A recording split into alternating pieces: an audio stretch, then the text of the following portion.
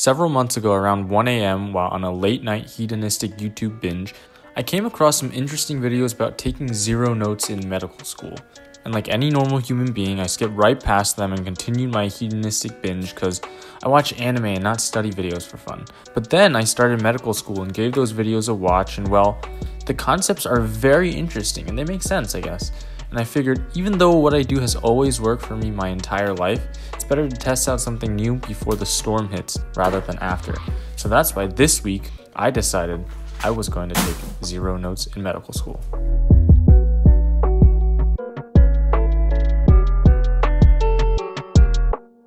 Now, of course, before we even start the video, we have to discuss one of the most important questions, and that is, what are notes? And for the sake of this video, I'm going to follow the definition you get when you look on Google, define notes. That is a brief record of fact, topics, or thoughts written down as an aid to memory. Except I'm going to tweak that ever so slightly. I'm going to make one tweak to that definition. Instead of aid to memory, it's just going to be aid to comprehension. So anything you write down to aid with your comprehension of the material. In addition to pen and paper, it's going to be anything you type on your computer because nowadays we're in an electronic age and people type their notes all the time to help aid with their comprehension. So anything you write or type to aid your comprehension outside of like making flashcards or something like that or answering practice questions will count as notes for the sake of this video. Why hello and welcome to the magical explaining corner where, well, we explain things. Now, the average person probably has a workflow that's pretty similar to this. So you watch the lecture, and you take some notes on the lecture, and then later you review those notes, review the lecture, do some practice problems, and then you take your test, right? Well, a lot of studies have shown that note-taking isn't necessarily the most effective strategy to increase your scores. So well then, people who have a lot of studying to do, for example medical students, have tried to optimize the most effective study strategies in the shortest amount of time possible. So what they do is sort of reallot the time to things that are more effective. So take out that note-taking portion, increase the amount of active recall, spaced repetition, and previewing the content, and then testing themselves later on effectively reallocating the time spent on taking notes into more effective study strategies later on in the chain. It's a pretty intuitive thing in terms of concept, right? Take out less effective study methods and substitute them with more effective study methods. But does this work for everyone? That's what I'm trying to test out this week. Anyways, the first thing on the list of things to do is to just take a look at your week and see what lectures you even had to have to attend. And I have no idea so far what my week looks like, so I'm gonna put the schedule up on the side and we'll go over it together. It looks like I have class lectures on Monday, lectures on Wednesday. Pretty much it. There's, there's a short lecture on Friday too, but that shouldn't be too bad. So today's actually Sunday. We have three lectures tomorrow on Monday. I'm gonna quickly preview them.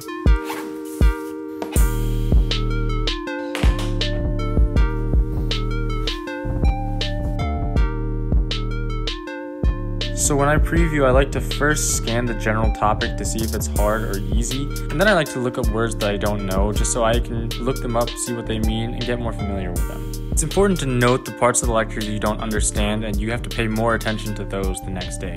Okay, so guys, we just finished up with the preview. It took 30 minutes or so to finish up with previewing three lectures, but it was quite an in-depth preview. And I knew for a fact there were times when I was just itching to sort of write certain things down because I felt like it would help me remember it better. But I didn't because this is the no notes for one week challenge, not the do what I normally do for one week challenge. Anyways, so sad I'm gonna have to leave the notebook at home today. So for lecture, I just listened to what the professors had to say and took zero notes. It was definitely easier to digest the material because of the preview, but there were a few times I zoned out. There were also times that there were just small, comprehension related details I wanted to write about, and I had to force myself not to.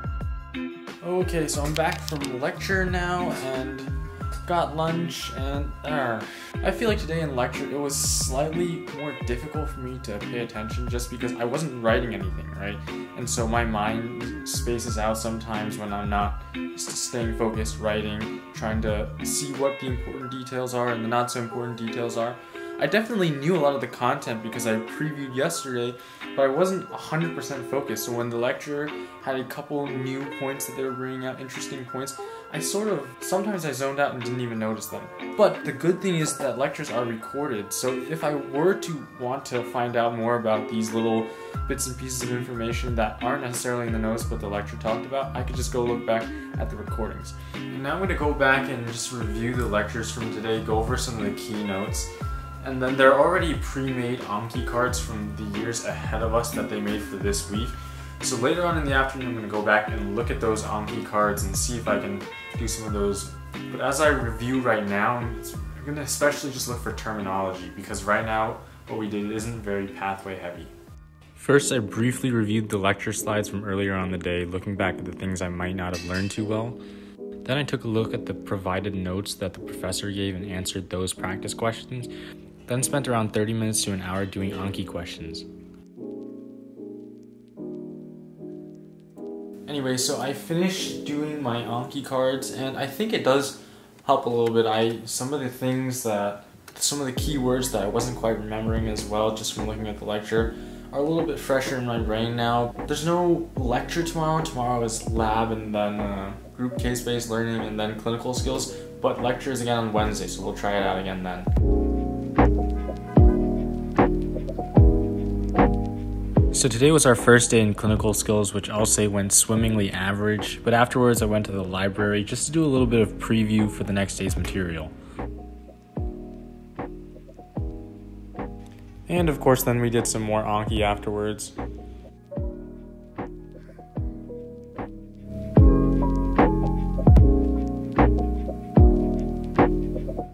Wednesday, I decided to watch the lecture at home because one of the lectures was pre recorded, which meant I could save some commute time if I didn't go in person to class.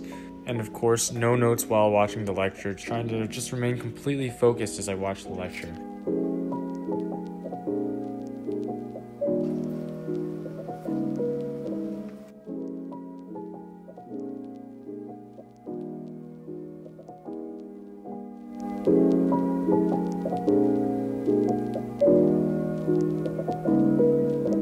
Now, on Thursday, there was a clinical skills small group, and afterwards, I went to the library because it's a little quieter.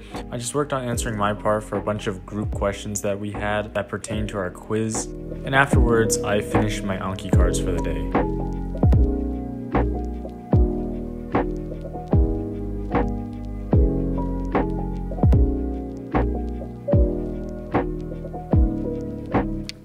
Okay, so after a long week of doing a lot of Anki practice questions, doing a lot of active recall, doing a lot of retrieval practice, occasionally studying with friends and stuff like that.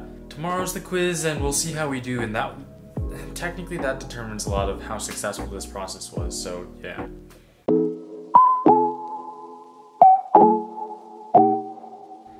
On quiz day, I woke up nice and early, listened to some music to hype myself up, and actually ate breakfast and drank water in the morning.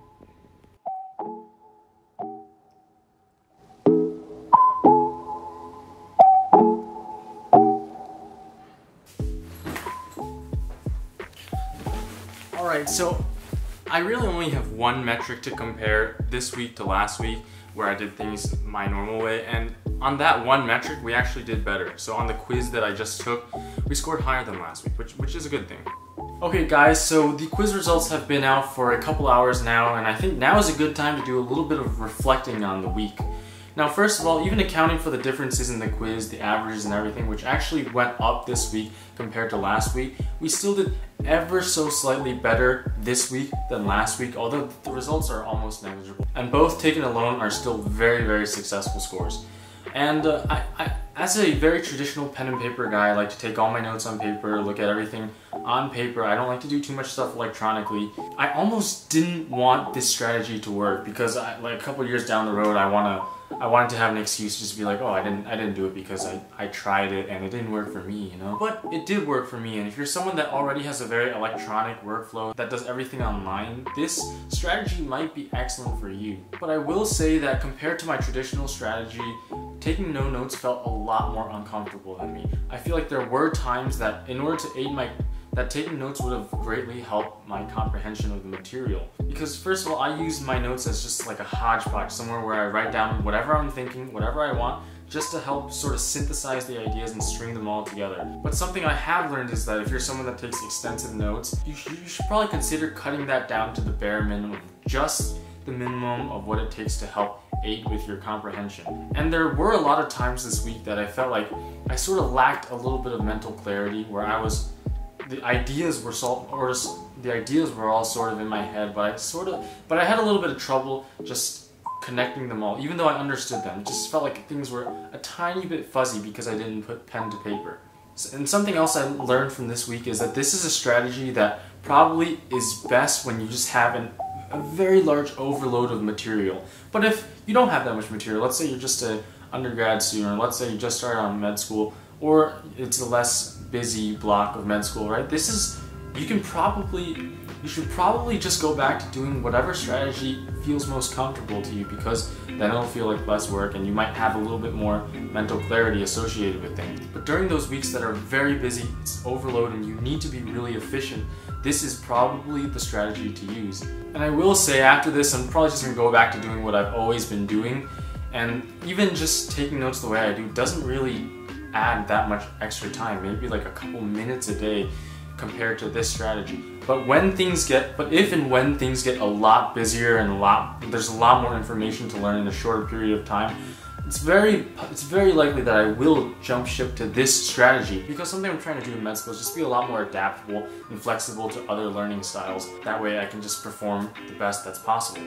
And something else is that this week I did have a lot of time because of this to just do things that I wanted to do. I could exercise, I could go out to eat, hang out with friends, things like that.